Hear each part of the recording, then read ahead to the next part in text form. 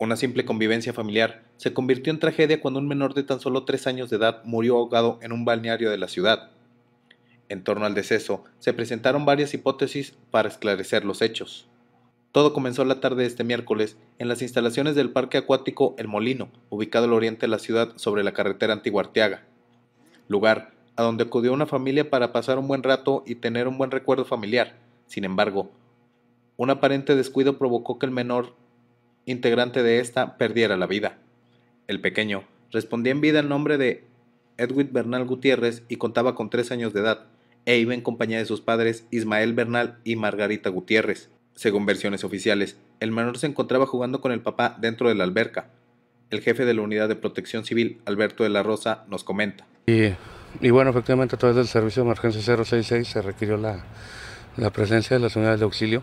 Al llegar las unidades encontraron a a una ambulancia particular, personas en una ambulancia particular ya efectuando maniobras de, de resucitación.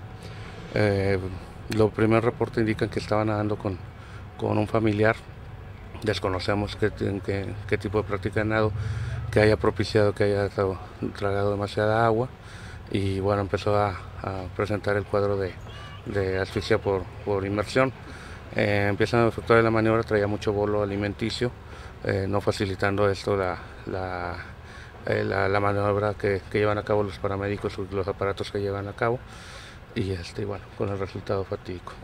Se habla de una negligencia por parte de... Estamos todavía investigando, el personal permanece aquí en el lugar, estamos en coordinación con el Ministerio Público para ver qué, exactamente qué fue lo que pasó y si hubo alguna falla, proceder y si, y si fue de otro tipo, de otra índole, que ya se, se, se esclarezca. ¿no? Sin embargo, Versiones extraoficiales dicen que el menor se encontraba en la orilla de dicha alberca y cayó dentro de ella, sin que nadie se percatara de lo sucedido.